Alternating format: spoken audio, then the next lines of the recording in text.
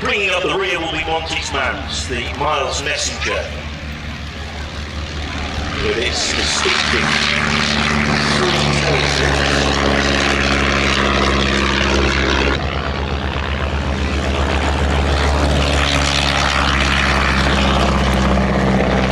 In the company of two of the last three remaining airworthy examples of this ab initio RAF trainer the 1940s. It is the Miles Magister.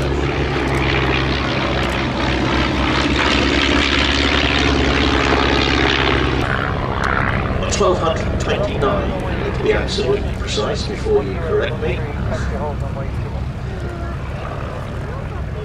Uh, it's interesting that when it entered service in 37, it was a bit of a culture shock for trainee pilots. They were stepping out of a Tiger Moth, an open cockpit biplane, into a monoplane, close cockpit monoplane. And this was supposed to be kind of like a halfway house to get them used to monoplane handling while having that second wing. And that is a task which it did superbly well. 130 miles an hour, reasonable top speed on 130 horsepower, which is major one in and out.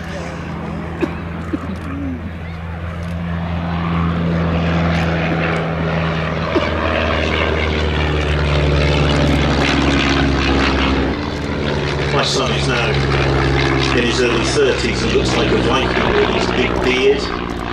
When he was a, a little blonde haired young lad of about six, I think it was, I brought him here with me to do a commentary for a, an air show. And uh, we were talking on the way home about the planes that we saw and the ones that he'd like them flying in the world. So it's the rarity factor, which for you know a kid of six years old, I thought was uh, pretty profound.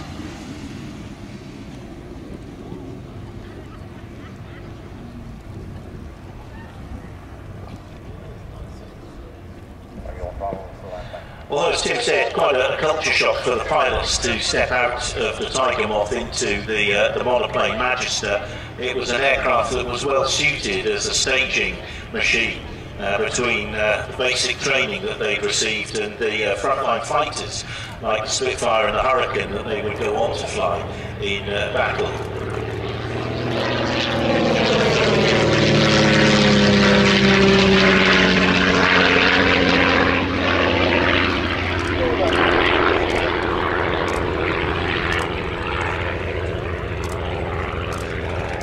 Quite remarkable actually, there's a goodly number of uh, Magisters in museums, a couple of which aren't. They're actually Hawk Trainer 3s, which have just been painted in uh, camouflage.